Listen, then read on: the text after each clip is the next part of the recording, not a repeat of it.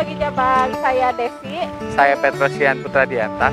Kami akan melaporkan arus wisatawan daerah Batu Hiu, Green Canyon. Batu Karas dan Citumang. Berikut liputannya. Pada objek wisata Batu Hiu terpantau masih sepi, sekitar 15% dari kapasitas pengunjung.